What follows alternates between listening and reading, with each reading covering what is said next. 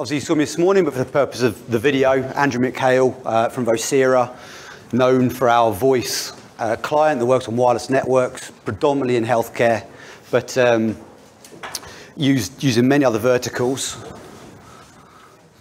Let's try and cut some of the background noise out. I work as uh, implementation engineer in the professional services department of Vocera. So what I do is I go on site to large hospitals, 600 bed, 1500 access points in a single building, and I assess their wireless network to see if it's going to give a good voice experience. And a huge part of the testing we do is protocol analysis. Heat maps show me if you've got coverage, maybe a couple of other little bits, but protocol analysis really tells me how the network is and how the voice is running over it. So it's want to take this session to basically go through some of the troubleshooting logic that I use when looking at my captures uh, to see whether the, the, wireless, the wireless is handling the voice well. So first of all, why, why do we care about voice on wireless? Well, let me get some audience participation here and ask you to raise your hand if you're currently supporting voice on your wireless network. Two, three, okay, can you, okay, fine, that, that, that'll do. Not going how I thought it would, but okay, two or three. Let me put up uh, some brand names for you. Now, now raise your hand if you're supporting those on your wireless network. Yeah? Your employees phoning home at dinner time to say hi to their kids because they're not going to make it back. Your guests traveling around, you know, Skyping home. We're all doing a lot more voice and video than we think we are. So just because you don't have a purpose-built voice, voice product, you're probably doing voice of some sort. And you want people to think your wireless network is the best, right? You don't just want to say, well, I didn't plan for that, so it's, it's best effort. So to me, capturing the data is the hardest part. Um, sounds crazy, but actually um, analyzing it is fairly simple thanks to the, the pattern I'm about to show you. But capturing it is the hardest part. Your users don't stand still. You gave them a wireless phone or wireless device for a reason so they could move around. If they didn't move around, you would have just given them a, a desk phone to use. So they're going to move around on your lovely networks that contain more than one channel. But capture adapters can only sniff one channel at a time. So while I've got an adapter set to channel 1, it's not sniffing channel 6 or 11 or 36 or 40 or etc. But to do good troubleshooting, we need to see all the frames involved from, with our client. And that includes all of the off-channel activities, such as when that client disappears off-channel to do some probing and get responses and, and see where it wants to go. You need to understand what happened there and why it didn't go to the channel you thought it was. You've got to capture as close to the client as possible. I mean, that's, that's CWAP 101 for those that have done it. I mean, I'm talking inches and centimeters. You don't want to be capturing from the AP. You don't want to be capturing a couple of meters away because we need to see what the client is seeing. And without clients actually spitting out packet captures for us, we need to be as physically close to them as possible so we're seeing like for like if we can. And make sure you use capture apps that support the PHY you're doing. Um, you know, if you've got an 11 AC client, 11 AC access point, don't use an 11 adapter because you're going to miss probably the largest part of your data, if not all of it. At Vocera Professional Services, we use OmniPeek for capturing. We found it the best tool for multi-channel capture to support multi-adapters. When it comes to analysis, we actually then take that data into Wireshark and we analyze it in Wireshark. If you're happy on OmniPeek, if you're skilled in OmniPeek, that's fine. But I'm going to be showing all my stuff in Wireshark today because that's where we've built our processes and our tools. So how do you capture data? Ta-da!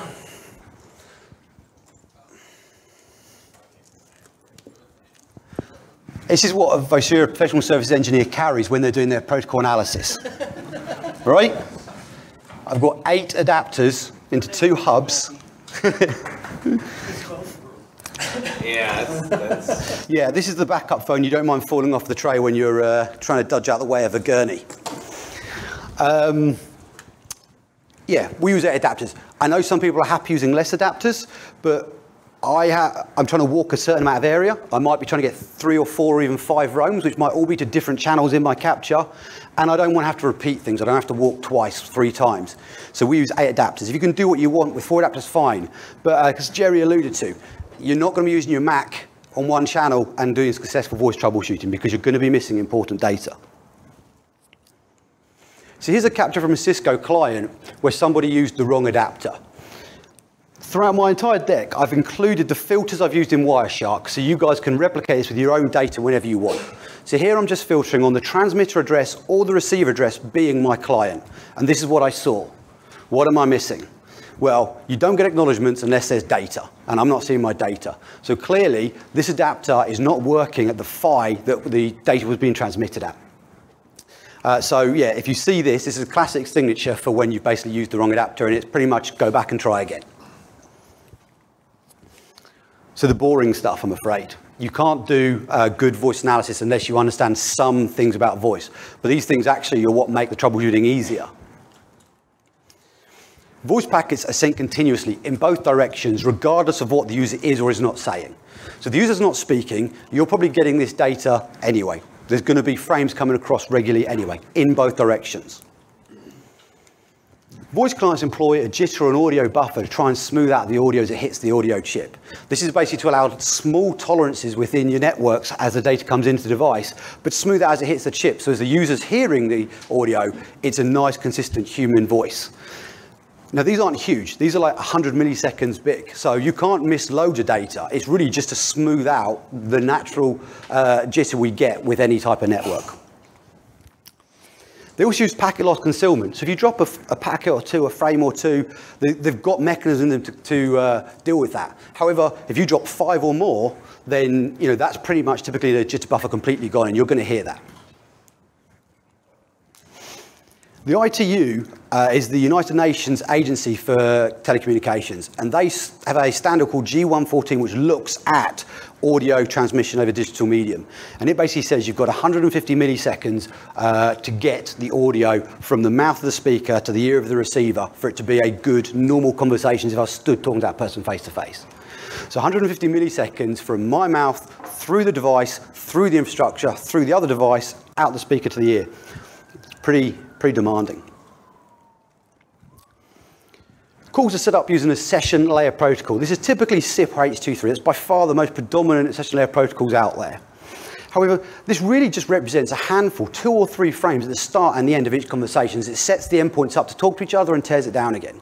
So you're not really going to be looking at these from a troubleshooting point of view um, unless you've actually got a problem with establishing the, the, the conversation in the first place. RTP is then used as the, the protocol to get the, the transport layer going to get all the data across. RTP uses UDP, and as we all know in this room, UDP we don't get ACKs for. However, that's a layer 4 ACK. That is something that will actually come over as a data packet through your network if they were coming back. Do expect to see TC, uh, uh, level layer 2 ACKs. We are expecting to see 802.11 ACKs from the AP to the client and the client back to the AP. So you will see ACKs there, but you will not see a large ACK packet that's coming back from the network because it's using UDP. And then a codec is used to encode the analog signal, which is our voice, into a digital signal for being transmitted. And these codecs come with specific metrics that specify the timing and the sizing of these frames, which is the key to troubleshooting voice. And it gives us some really nice and easy to see patterns so that we can see when something breaks and doesn't do what it's supposed to be doing. And just to know a little bit about these uh, codecs is essential for troubleshooting. So G711, G729, and Silk or Opus are the most common codecs in use today. G711 and G729 are very regimented structures. You either got a 160 byte payload or a 20 byte payload.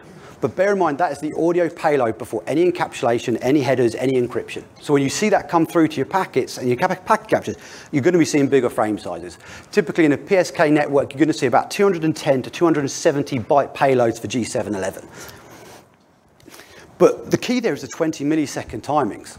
This, the codec specifies that a frame will be delivered every 20 milliseconds to the device.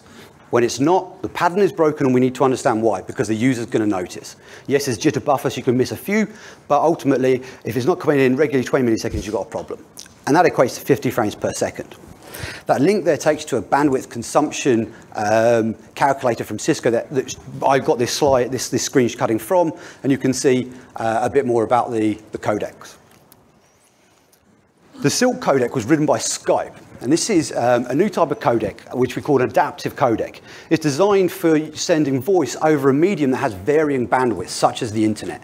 So instead of being regimented to a certain time um, interval, it can vary that depending on the bandwidth of uh, the medium it's on.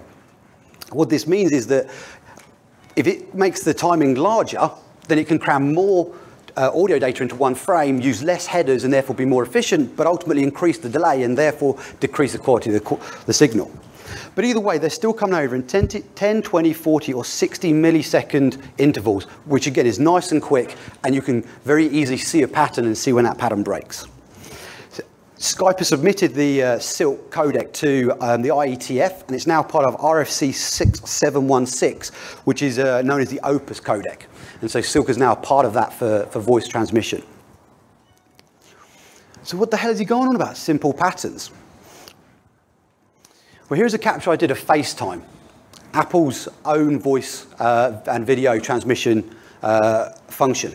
And again, the filter's there. All I did was I said, show me my iPhone as a transmitter with a QoS data type, uh, sorry, data type of QoS, um, and then a priority of six because Apple's tagging data as voice.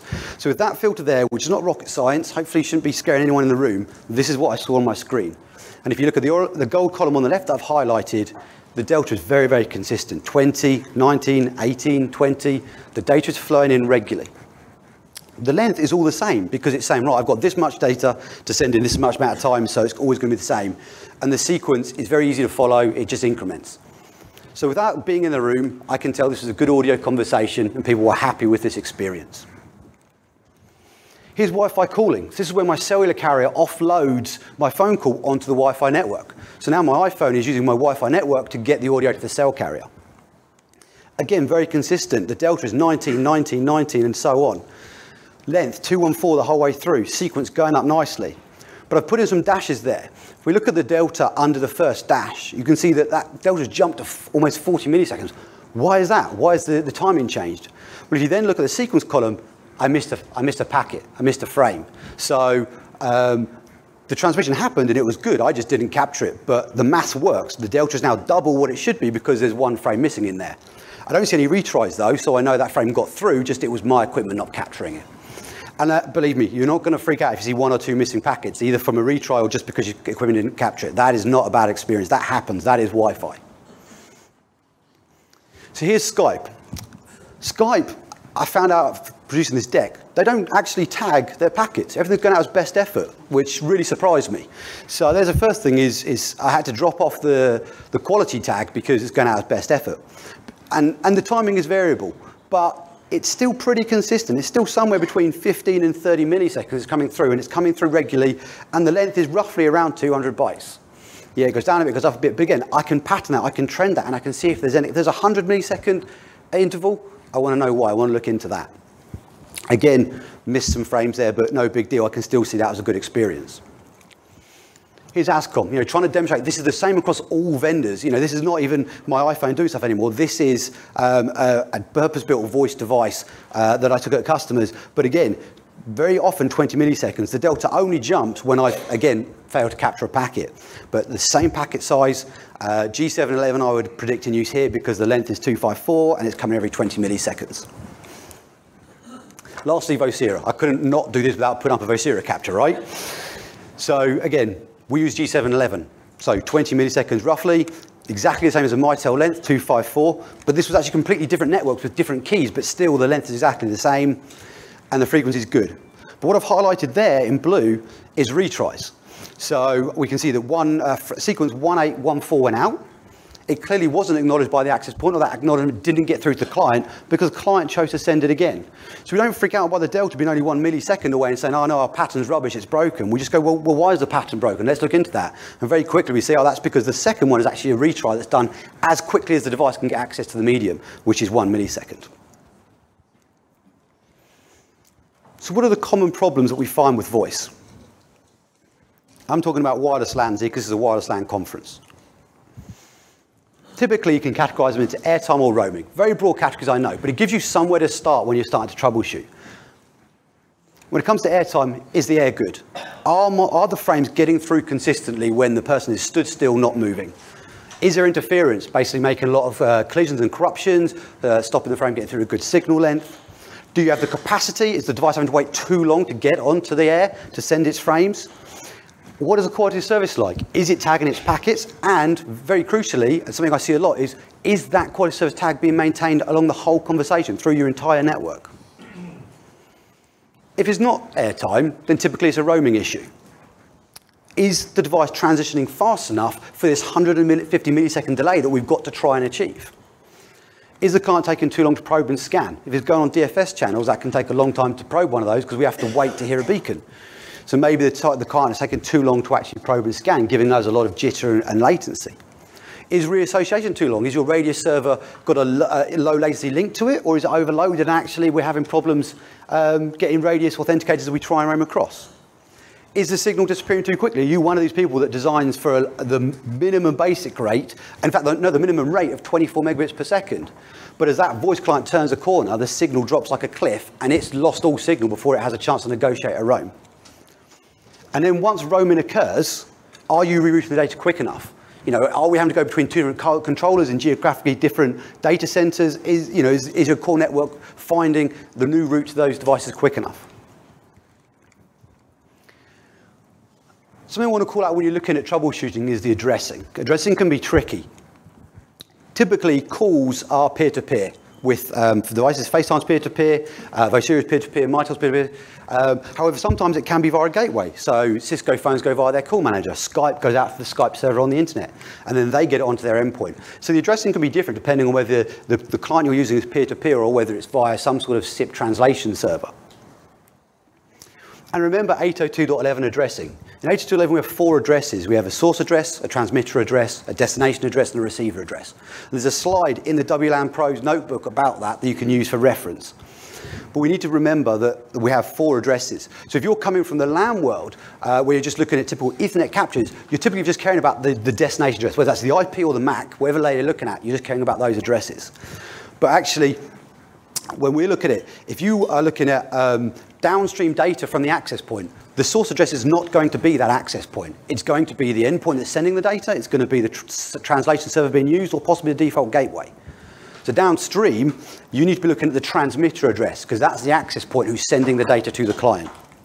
Upstream, again, the destination address is not the AP. That's not the ultimate destination for this frame. The destination address, again, will be the endpoint I'm trying to get it to, or the, uh, the, the, server that's translating it, or the default gateway. So I want to be focusing on the receiver address. I want the access point receiving this uh, frame, and so that's the, the address I want to look at. And if you're doing a capture like Vocera does, where we have both endpoints in close proximity of the capturing devices, then suddenly the To DS from DS bit becomes very important. Why is that? Well, here's a capture and I've used the um, filter, the wireless LAN source address of my Vocera badge with the wireless LAN destination address of my Vocera badge and a subtype of QoS data, because I want to see all data to my badge. But I've got my badge sending two frames very, very quickly. And that goes against everything I just told you about, the patterns. Why would my device suddenly send a second one? It's not a retry, and the sequence number's way out of whack. Why is that? Well, if I uncover that column and I show you that actually one of those frames is going to the AP, and the other frame is coming from the AP down to my client because I've got both clients there. So I'm seeing the frame going up to the AP and immediately coming back down to the other client that's supposed to be receiving it. So this capture actually shows upstream for one and downstream for another client. But typically when we're doing troubleshooting, we want to focus on one client at a time. We want to look at the conversation from that AP, from that client to the AP and back again. Sometimes, yes, I do look at the whole conversation and I see both sides of it, but I start by looking at one client and seeing what that one client's problems may be. So now that I've changed the filter to be the transmitter address and the receive address, we can see that actually my, my capture looks slightly different now. And I'm seeing a different source and destination. I'm seeing different deltas. I'm still seeing one up, one down, but what I'm seeing is client one sending to the AP, then the AP sending me back audio data from client two. So I'm looking at just that leg between me and the access point. So where do you start? If I take a capture of 60 seconds in an enterprise-grade hospital with lots of access points, I pick up about 70,000 frames in 60 seconds. How the hell do you start looking at 70,000 frames? You, you start at 30,000 foot with a picture. Picture's worth a thousand words, or in this case, a thousand frames, right? Try and make it easy for yourself and step back. And this is where I think the hidden weapon of uh, Wireshark is. We use IO graph to map the data so we can see the trend. So again, I've included my filters here, but you're not going to be able to read them from where you're sat, believe me, but get the deck afterwards and zoom in and actually apply these filters to your data, change out the MAC address for your clients. Uh, and you can replicate this. So here I can see everything my client is sending to the access point. Um, that is a voice frame. Um, and I've excluded retries, so I don't want to see retries right now. I just want to see the first attempt to get every frame out there. The vertical axis is my quality of my connection. I said earlier, you get your client as close to your adapters as possible. So I'm seeing 100% signal quality. Yeah, percentages are arbitrary. What does that mean? It doesn't matter for this. We're just trying to see that the signal is strong and consistent. And I've got some breaks. Why, why have I got breaks in transmission? This thing that sends me every 20 milliseconds, and I'm zoomed out to a level of 100 milliseconds, so every iteration is, should be five frames. Why am I seeing dips? Well, let's layer on some more information. Let's build this picture up. Now I've added some green bars. These are probes and they happen to align with all of my dips. What do we know? When I'm probing, I can't be sending data. I have to be probing and then listening for the responses. So these dips tend to coincide with when I'm going off channel to, to probe and I'm not sending data anymore. So okay, now I don't still feel so bad about those dips. There's still more than I'd like to see, but at least those dips are happening for a reason and I know why. So let's look at the quality of the connection. Now I've layered on retries. Now I'm showing you just the retries that client is making to the access point and we see a bunch of red bars. I can see there, there's two clusters of retries, kind of middle and, and just right of middle. Why am I seeing a bunch of retries around then? Well, let's add some more data. Let's add some more color to the picture. Now I've layered on the signal strength of my access point. Now I'm showing you all the downstream packets to this particular client coming from the access point. And because I vary away from that with my capture adapters, the signal goes up and down. So I can see using the blue dots, that my signal deteriorated as I moved away from the access point. When it got to a level that was unacceptable for the device, uh, I saw probing, I saw retries increase, and then suddenly it found somewhere to go, and the signal shoots back up, and I've got a good signal again, and the retries come right down. I move away again, the signal starts to drop, the retries start to increase, we probe, we find another AP, and we roam again. So in a very simple picture, with just four colors on the screen, I can tell exactly what's going on here. I can tell the client is moving, I can tell that they're roaming. I can tell that actually retries are really quite low. I can see the clients maybe doing a bit more probing than I want. Um, but in general, I can see it as a really healthy experience for the client. I'm quite happy here. I'm not going to dig into this much more. So what does bad look like? Well, there's lots of versions of bad, but here's one of them for you. Constant retries, lots of green bars, lots of probing, signal very low this was by design, a, well, not by design, but this was a low coverage area. I'd heat mapped, it was low coverage. The guy knew, the, the network owner knew it was low coverage. He asked me to go and, go and show him it. So I found it. And wherever I find low coverage, or uh, at least one place I find low coverage, I like to take a capture on the customer's network to show them the effect of low coverage. People think, okay, audio gets a bit choppy. But actually, retries go up. What do retries do? It brings the overall bandwidth of your network down. Um, it causes battery drain as the client because he's spending a lot more time trying to transmit. So you can tell a lot from this. So as well as heat mapping, when I found those areas aren't good enough, I've gone and proven their low coverage and what the consequences are to, basically motivate the customer to improve it. So a picture gives you an awful lot of information. So the fun stuff.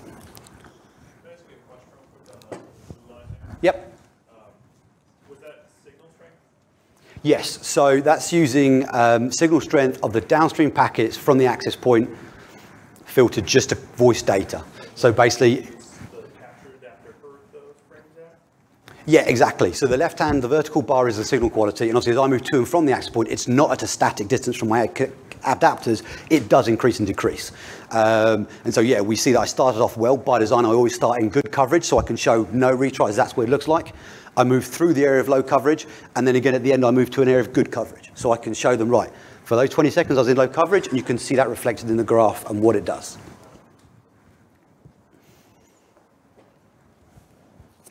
So I think I'm doing pretty good for time, actually. Um, what I want to know now, is actually show you me digging into some, some, some frames, because really the slides can only show you so much. So the first thing I want to do is I want to check if the network is supporting QoS properly.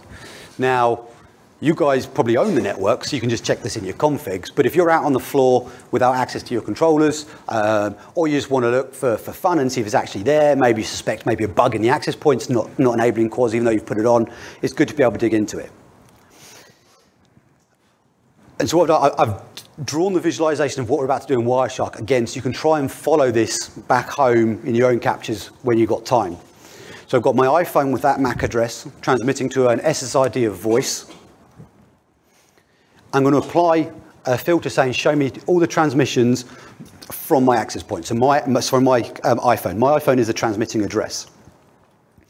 That is going to let me see what BSSID is attached to. And I'm going to find that is a BSSID that it's attached to. So then I'm going to copy that BSSID so I have it on my clipboard. I'm then going to create a new filter which says show me all of the subtype 8, which is looking at beacons, with that BSSID. So I'm going to narrow down to just seeing beacons just from that BSSID, and I can dig into the beacon and see where the WMM is enabled. So let's see how it goes. Okay, so I'm going to open up my FaceTime capture I took.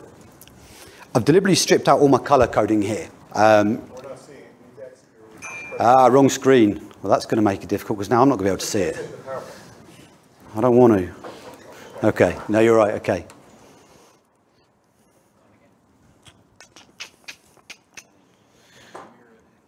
Got any technical people in the room who can? Uh... Okay, there we go. I can see it. You can see it. Good. Okay. I've zoomed it in, so hopefully you guys can actually read what's on the screen. Not looking too bad. Uh, I can't zoom in the filter bar, so you guys probably won't be able to see what I'm, I'm typing, but I just kind of laid it out in the deck for you. So the first thing I'm going to do is, I say, apply a filter of uh, just wlan.ta equals equals, and then my MAC address, which is fc colon 2 alpha colon 9 charlie colon 7 9, can't type, 7 alpha 2 7. Okay, the bar at the top goes green to say, yep, that's a valid filter, Andrew. Congratulations, give yourself a pat on the back. I hit enter, and it comes down to being just what my device is transmitting. I could find my BSS ID from here, but let's just take this a little bit further. Let's just show the QoS data, because I know that's going to and from my BSS ID. Probing could be going somewhere else.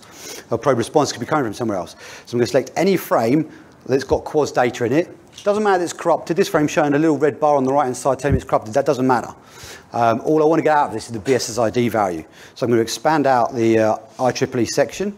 I'm going to find the line that says BSSID. And I'm going to right-click on that, and I'm going to go down to copy. And when I get to copy, I'm going to say value, because I want to copy the value of that BSSID. So that's now in my clipboard. Next thing we do is I'm going to bin off that filter and go back to show me all the data. Now I want to find a beacon, because that's what I want to fill down is really the beacons. So you can see, you'll see beacons all the time in your captures to come out so frequently. So here I've got a bunch of beacons at the bottom. So I'm going to select the first beacon, and now I want to create a filter for that. So we're going to select a beacon, we go over to the right hand side again, and you can see on the right hand side I've got a beacon frame as the type. So what I have to do is right click on that beacon frame and then I can say apply as a filter. But I don't want to apply it yet because I'm not done. I'm building up a two-part filter here. So I'm going to go prepare as a filter instead. I'm going to say I want to see what is what I've selected, so the, the type of beacon. So I click on that and now that's in my address bar, nice and safe. Now I can move on to the second part, which is the BSSID. So again, on the right-hand side, I'm going to find the filter BSSID. This is the wrong BSSID, but it's okay, I'm just building up my filter right now. I'm going to click on the BSSID value, right click, prepare as filter. Again, I'm not ready to apply it because it's the wrong BSSID. I'm just going to prepare as filter and selected. So I want to see that it's a beacon and a, a certain BSSID. So now my bar is ready. What I can do is I can go up to the BSSID that's in there, highlight it out, and then paste in the one I've got on my clipboard. So now I've got a filter saying, show me beacons from this BSSID. I hit enter, and that's all I'm seeing is beacons from that SSID. So I can choose any one I want. It's even selected one for me. And I can expand out the IEEE section at the bottom. And hopefully this is familiar to a lot of you. I can open up the tag parameters and I can scroll down and see that right here, I have my WMM uh, information element, which means this SSID is supporting QoS and it's giving me some parameters for how to use QoS on this BSSID. So as simple as that, I've verified that QoS is working. Okay, next example. So once we've worked out that QoS is working, is the client tagging its frames with QoS? And more importantly, is the network honoring that end to end? So this is a capture where I had both devices in proximity to my, my adapter so I could see upstream and downstream of the same data. So I've got my iPhone again, I've now got my iPad. They're both talking on an audio FaceTime conversation through voice, which is a peer-to-peer uh, voice function. I've got audio going upstream, and I'm going to use the wireless LAN transmitter address at my MAC address again to see that. Then I want to see downstream audio. So now I'm going to look at wireless LAN as a receive address. So I'm going to say anything that my iPhone sends or my iPad receives. That's going to let me see the same audio frame going all the way over the access point. Notice the colors of the arrows. Black up, blue down. That's going to be uh, important in a second. So then I'm going to apply a subtype of QoS data again to, to narrow down what I'm seeing because there's 70,000 frames here. I don't want to see it all. And I'm going to look at uh, what that shows me in terms of the priority. So let's go back to Wireshark bin off this uh, this filter, and so I'm going to start the same filter again. wlan.ta equals equals. Actually, I can save myself some typing. I can just grab it from the history bar for my Mac address for my iPhone. So there's everything my iPhone is sending. But I also want to see stuff that my iPad's receiving. So I'm going to say or wlan as receive address equals equals my iPad, which is three four. 1298, Alpha Foxtrot, 8 Foxtrot, 6 7. Except that's not a colon. Uh, 8 Foxtrot, 6 7. Okay, filter's gone green again, hit enter. So now I'm filtered on data just going up or down. So now let's grab a QoS data frame. There's one. Go across the right hand side again, and apply that subtype. So I want to see only QoS data because I want to see the audio data going up and down. Apply as a filter because I actually want to activate this time and select it. So I've put an OR statement in already. So I've said my iPhone up or my iPad down and it's got to be QoS data. So now I've got, I've got the data stream.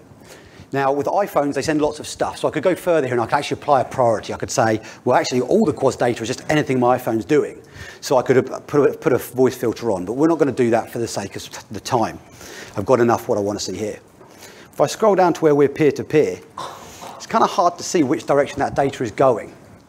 So what I'm going to do is I'm going to click on any of the packets. I'm going to come over to the right-hand side again, and I'm going to find in the frame control fields the flags, and I'm going to see that it is going from the station to the access point. This is an upstream packet from the station to the access point.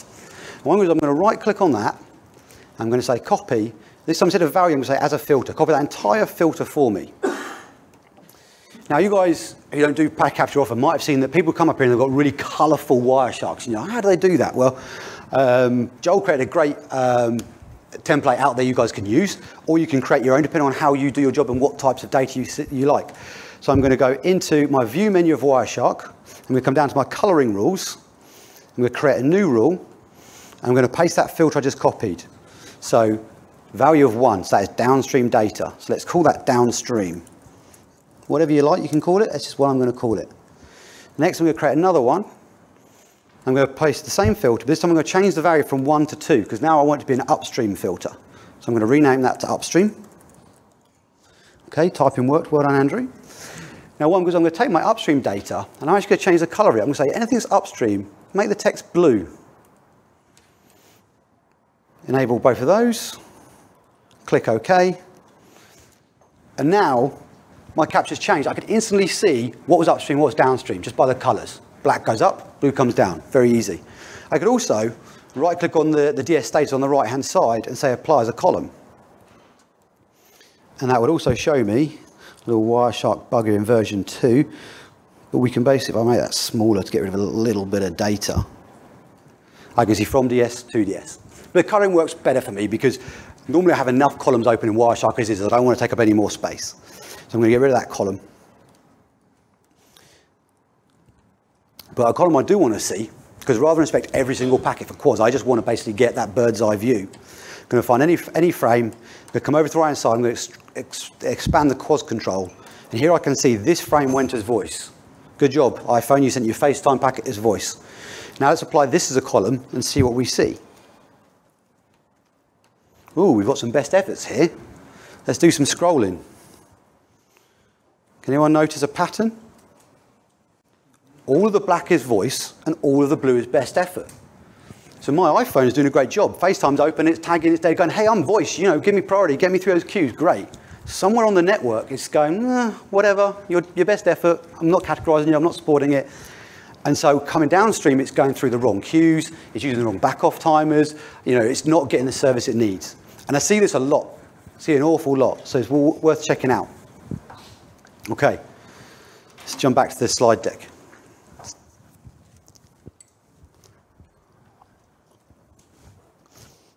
So let's, so we've got these breaks in TX. Let's have a look at why we've got a break in TX. Why did the, the device stop doing what it's doing?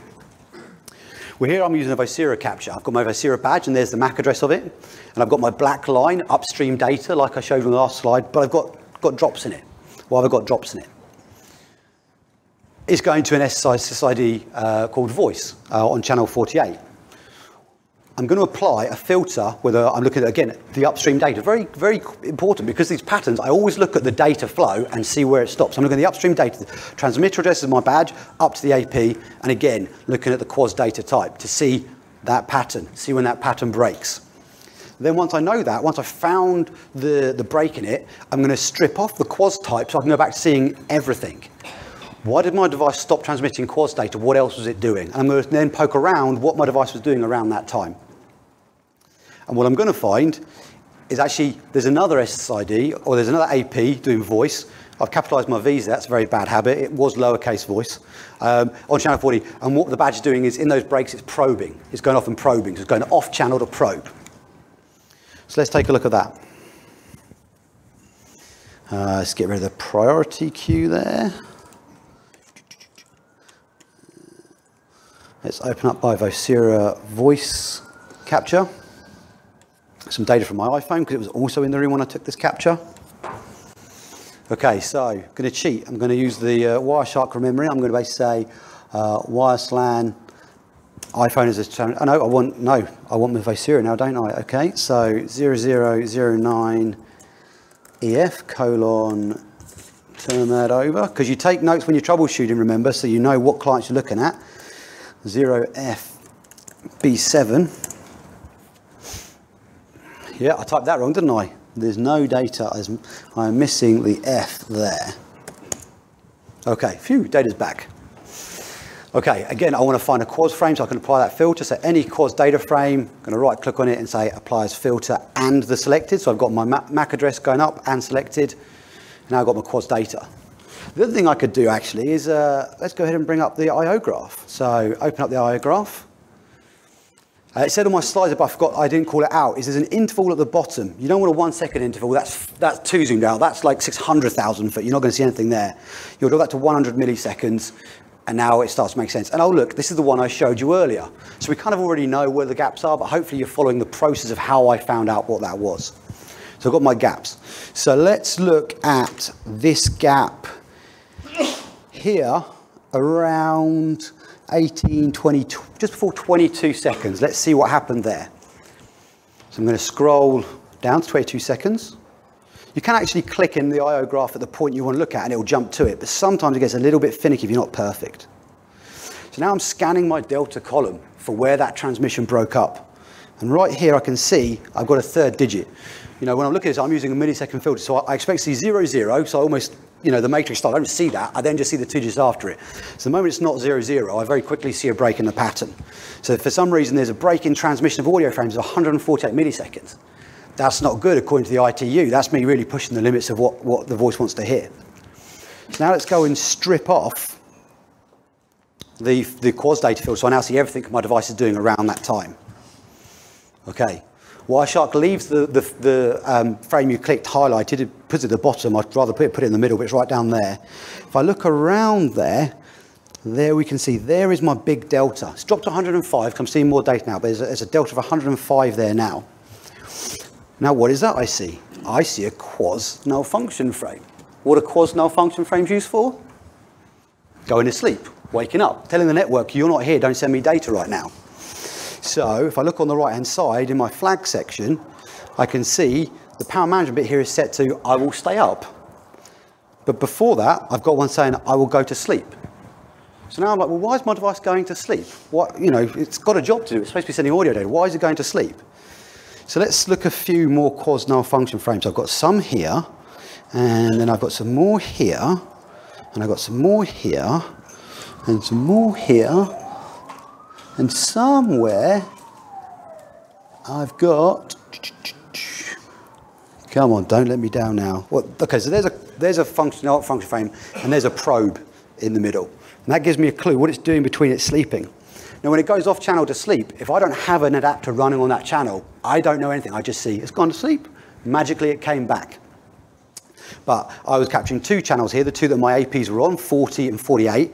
The transmission was on 48, and this one I can see, oh, I removed the channel column to try and get my screenshots a little cleaner. If I had the channel column up, let's try and stick that back in.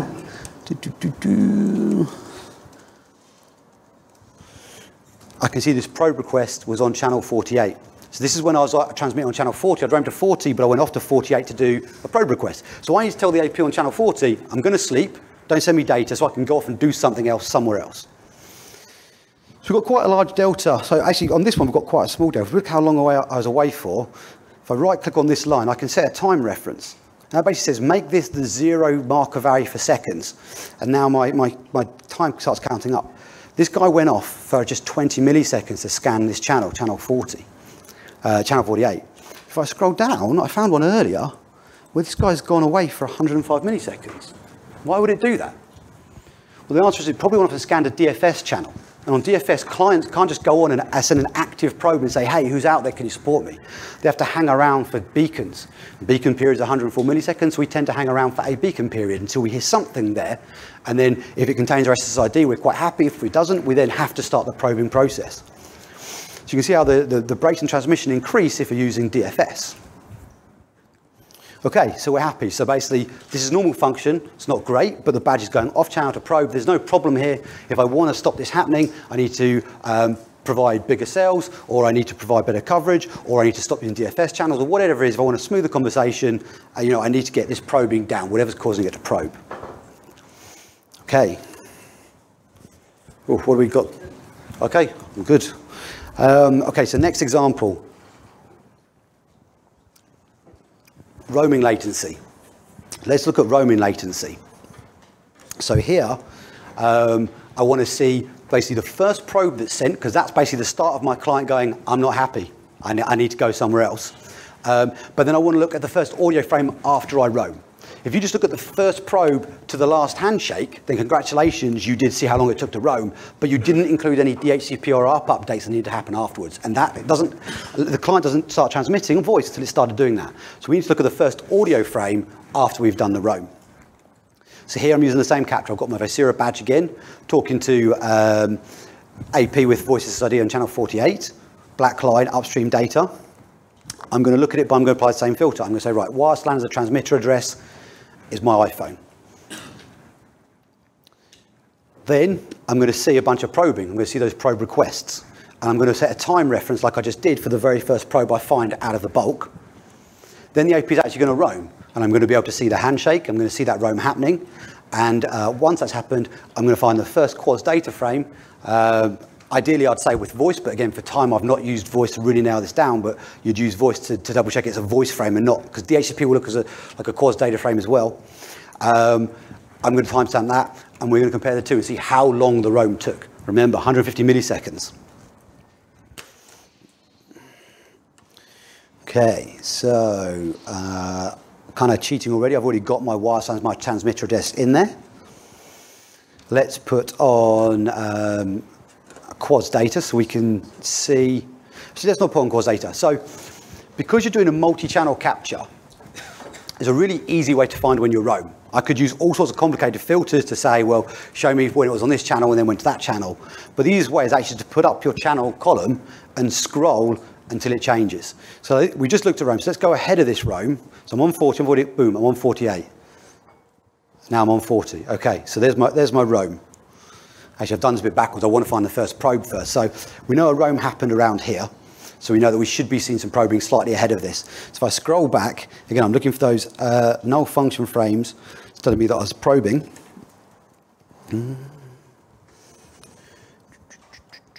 Okay, so there's some, there's some probing. Let's keep going back. Uh, actually, let, tell you, let's do this. I think I was supposed to do this as part of the last demonstration. Let's uh, apply the column of the device is going to go to sleep. Okay, there we go. So now I can see when my device is staying up and when it's sleeping. So I'm looking for when it goes to sleep. So there's a sleep. There's a sleep. Scrolling, but trying to stay the same. There's a sleep. 13 seconds. Okay, that looks like the very first time my device said I'm going to sleep because I'm going to do some probing.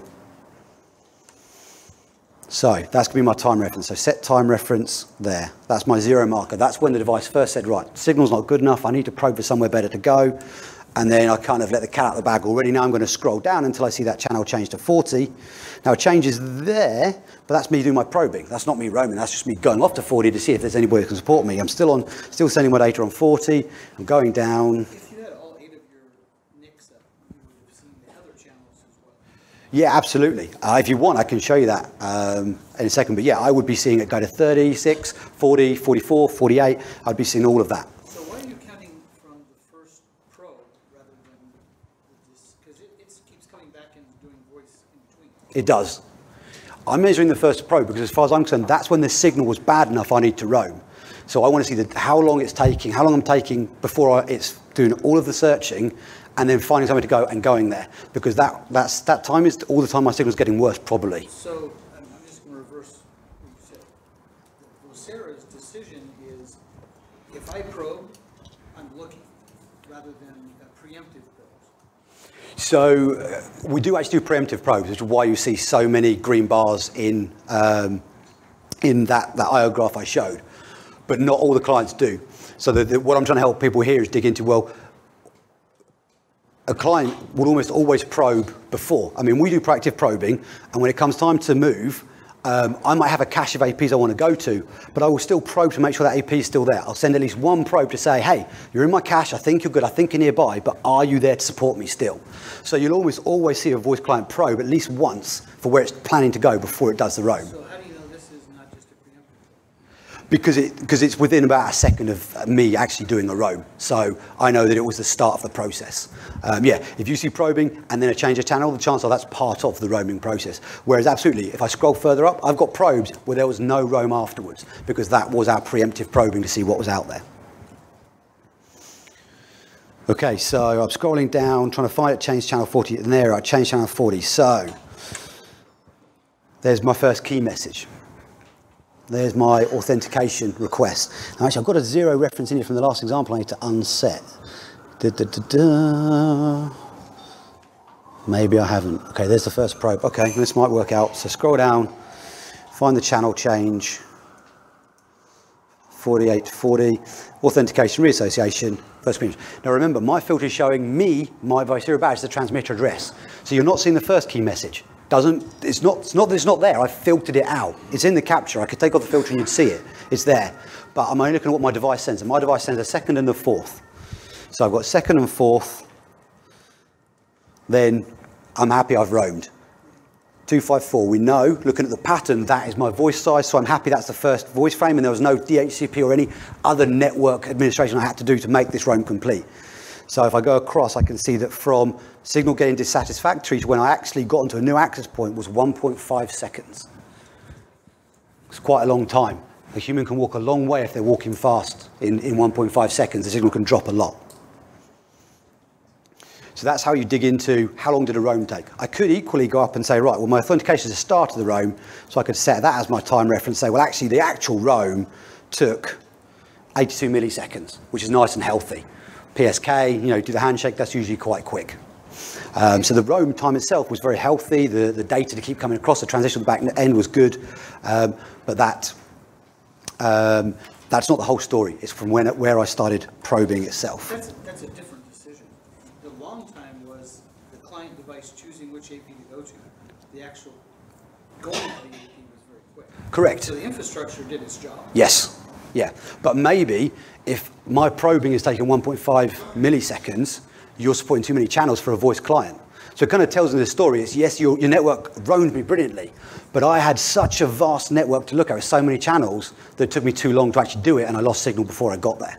So you know, it's, it's always useful to look at when the client decided it wanted to roam to actually achieved it, because you're degrading, you're degrading your signal the whole time And so your user might be saying it's really choppy. And you're like, well, my roams are really quick. What's the problem? That's because it's taking too long to find where it wants to go. And that's where you might roam the Vocera aggressiveness. You might have it roaming at a higher signal to say, well, actually, don't wait to 20 SNR to roam. Roam at 22 or 24 because I've got plenty of signal here.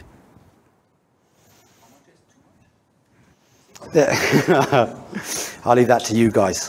42. Right, are we back on the slide deck? We are, but you'll see my next slide. Okay, let's come out of that and go back into it. So Keith kind of brought me onto my soapbox already, and a lot of the guys on Slack will have heard this from me already, but a large channel plan really hurts voice. You know, we, we're coming from a 2.4 world, which is a junk band with loads of interference and only three channels. And Vocera still works perfectly well in 2.4 if you guys know what you're doing. Now we've gone to 5 gigahertz, and everyone suddenly needs to feel the need to use 21 channels, so we have our duty cycle down at 1%. There's plenty of space there to use a smaller channel plan if you're running voice, give a good roaming experience, and, and not use all the channels. Here is an IO graph for somebody who's running 19 channels. My, my client is pretty much spending the whole time probing because in the UK we only have four, uh, well in Europe we only have four non-DFS channels. And those are nice and quick. That takes us 20 seconds, 20 milliseconds to probe and we're happy. We have to spend at least 100 milliseconds on non-DFS channels. And the more channels you put in, the more I've got to probe. So you get this. You know, we barely finished probing all the channels in the first uh, instance, around about the 50 second mark, before we had to start all over again. Because actually this signal had got that bad, we needed to move again. The AP we'd found as part of that probing and thought was good was actually bad by the time we decided to move to it. So just to close out, voice over LAN is only going to increase. You know, Skype, FaceTime, WhatsApp, you know, that's going to put a load on our network. So you guys all kind of need to be able to understand it and dig into it. Protocol analysis gives you far more information than a heat map ever will about how your device is doing in the network. Voice is easy to trend. Every 20 milliseconds you see data. The moment that stops happening, you potentially have a problem that you can dig into. And the problems typically, when we're looking at client to AP, is either the air's not clean enough or your roam's not smooth enough. But don't try digging straight into data straight away. Summarize it, graph it using an IO graph or whatever tool you're using the equivalent. See it from a great distance out to find your problems and then dig into it further and dig deeper by building your filters up. Start by looking at the upstream. Then maybe put on a QoS filter. Then maybe look at some of the downstream. Look at your, you know, filter on the priority values, things like that. But, you know, start with the data, the data transmission, find where it breaks and start digging into it from there. Uh, and if you want to take your own captures this week, then come and see me. I can stand up a Vocera server in a few seconds. I can get an app on your, your smartphone and we can do some voice calls. Uh, I'm, I'm here through till Friday morning, so come and you know, take a capture of voice to take home and look at yourself. All right, here's the good voice.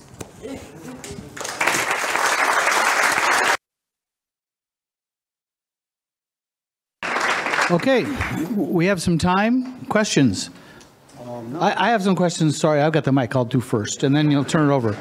Um, your, uh, thank you for your analysis. Appreciate. Obviously, lots of experience in getting and tracking this stuff.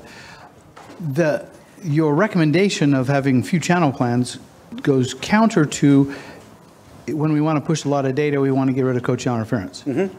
And so, is, is there a solution you found that says maybe we put a voice SSID on only a third of the APs rather than on all of them? I mean, th- what you're asking for is to ruin one thing to make another thing work. Yeah. Um, and, and we have lots of clients who've asked us to do that before. So, your answer on that? So if you're designing a stadium where the guy's going to be sat in his seat watching the game and voice is not a high priority for you, use all the channels available to you because you've got a lot of people in a small space. But if you're doing enterprise voice, something the business is relying on to communicate and function, as Jake said, it's a trade-off. You know, you're going to have to strip the channel plan down. Okay, you know, in an ideal world, I'd want you to eight channels maximum. That would give you pretty smooth roams. Uh, but if you have to go to 12, then fine, do 12. Um, I would I would argue that show me a 5 gigahertz uh, spectrum analysis on 21 channels um, that is anywhere near 15% re- uh, utilization regularly. You know, we have plenty of space. Okay, it might slow everything down a tiny little bit, but is going to make a massive difference to the voice. So yeah, it, it's a trade-off. I'm a, a, voice vendor, stood up here preaching that you guys need to reduce your channel pan. You have to decide what's best for your environment, but at least understand how you're hurting voice by having 21 channels to scan through. So can you alternatively uh, change the uh, scanning cycle in the background on your devices? Because some devices, some clients, you can do that. And can you do it in your uh, clients? Yeah, so the Vocera uh, badge, the current generation, we brought in about 18 months ago, something that we internally call proactive scanning. And it basically says that when I'm not on a voice call, I will go off and scan every um, 10, 10 seconds, basically for anything that's out there. Um, or if signal drops enough, then I'll obviously do a scan as well. And then what we'll do is we will go into um, the cache. We keep five APs per BSSID.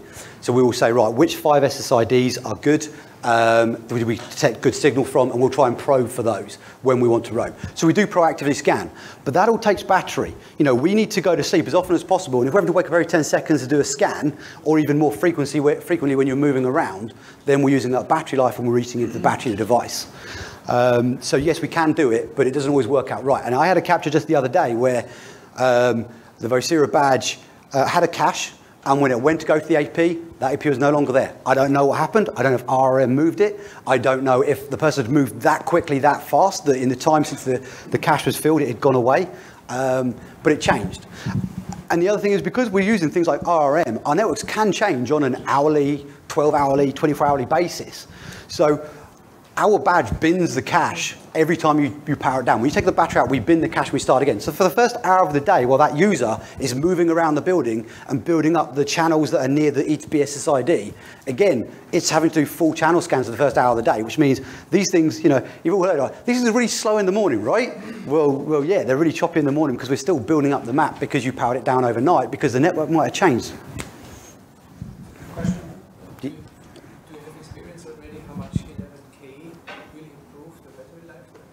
So the question was, do, do I have experience of how 11K helps? Um, 11K helps an awful lot because um, if we've got APs in the cache um, to go to that are satisfactory, we won't do that full channel probe.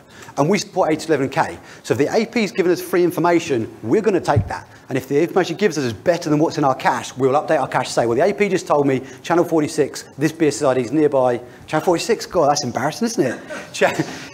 bonded channels and all that. Um, channel 48 is uh, nearby and it's good. So yes, 11K is very useful. If you're doing voice and the client supports it, absolutely turn it on on the client and the, and the network because the more information, the better decision we can make, right? So 40 megahertz channel. Yeah, that's what I'm saying, channel bonding. So uh, yeah, please don't bond channels voice. Yeah, go ahead. Yes, uh, what are the drawbacks capturing frames with Wireshark? So Wireshark, um, when I first started Vocera just over seven years ago, we, we actually used Wireshark as our capture. And the AirPcaps gave us better metrics when it came to signal quality. So um, what you saw in my IO graph, there's a really flat black line across the top because it's just 100%. But actually with Wireshark, the AirPcap adapters in their driver gave me a really nice translation of that into a signal value that was a positive value.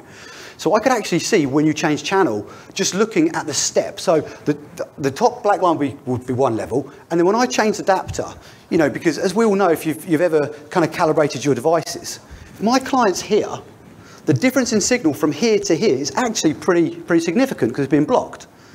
So I could see when this adapter captured it, when this adapter captured it, when this one did, because I'd see steps in my black line. It gave me an awful lot more information, and I really wish we still had it. But Riverbed just haven't kept up with the AirPcaps. They only do um, 11N. They're 500 uh, pounds a piece in the UK for the, the 11N adapter. And there's no 11AC adapter, which is pretty ubiquitous on, on the networks right now. Um, so we can't capture in Wireshark anymore. The thing is, I believe the AirPcaps don't support a short, short guard interval. So you have to use OmniPeek, which does support it. Um, and yes, OmniPeek's not a free tool. It's got a more expensive license there. But the adapters are only 30, 30 euros on Amazon. You get a Netgear adapter for 30 euros. So I can buy a suite of adapters for under 200 euros, then the license of the tool itself, and I can capture everything I need to see.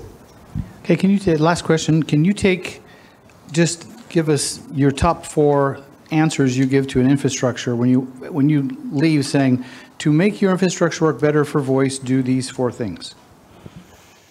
Um, everyone loves high data rates, right? everyone loves a high minimum basic value, uh, minimum basic rate. But voice actually needs kind of a, a, a soft exit. Um, so I don't like seeing uh, minimum basic rates above 12 because that basically makes my, my client have to just get off of that network so quickly. There's nowhere for it to trail out if it needs to. So I don't want to see really high rates if you're supporting voice. I want to see quite low ones. Um, signal, if there's no signal, you, you know, you're not going to have a voice experience. Voice wants minus 65 dBm. So where you've got those black holes, get those black holes, those grey spots filled, basically. So you call it a black hole. That sounds like a very dark gray hole to me. Because I it's mean, if I have neg disappears. 67 and you're saying I should fix it because it's not black, it's just really dark gray. You're right. Vocera's specifications ask for minus 65. Cisco asks for minus 67.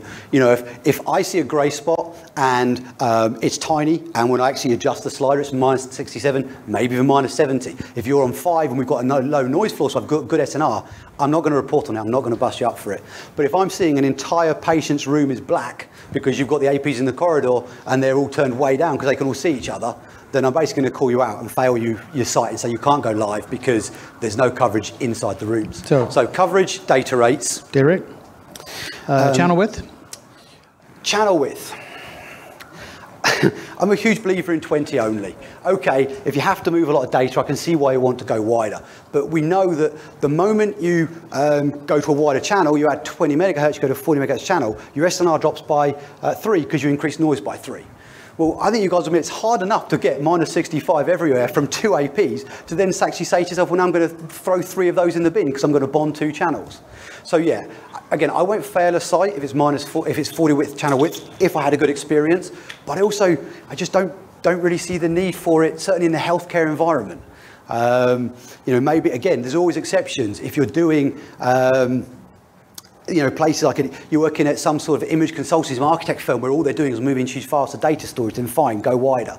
But if you're running voice, um, you know, I, I'm actually quite excited about 11AX. If anyone heard of me on the podcast the other week, 11AX is going to give me, hopefully, a really skinny resource unit all to myself. So whatever the big boys do with their, you know, 160 megahertz wide channels, I'm going to have a tiny little one to send my data, tiny little data, very, very frequently, and that will make me very happy. All So to you- yourself. all to myself, yeah. So don't bond. Um, And the fourth item? I had a fourth, and now you've thrown me. Um, Almost sounded like you said AP supporters.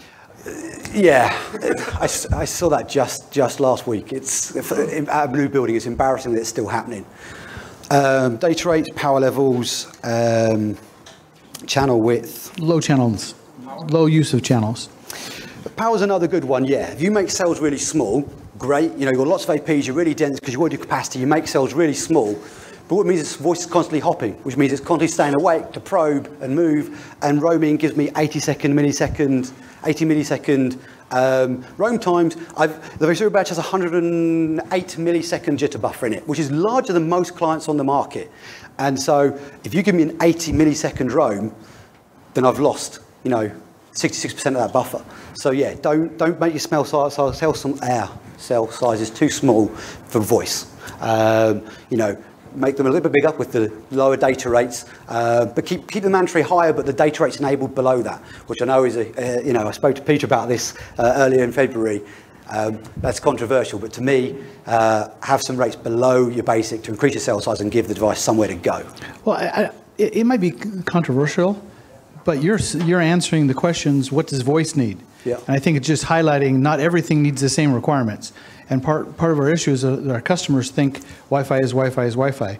And if you're going to run voice over Ethernet or high data rates over Ethernet, you don't change the PHY. And yet you just described, oh, four things we can change the PHY to make us better will cause something else. So it, we do have difference there.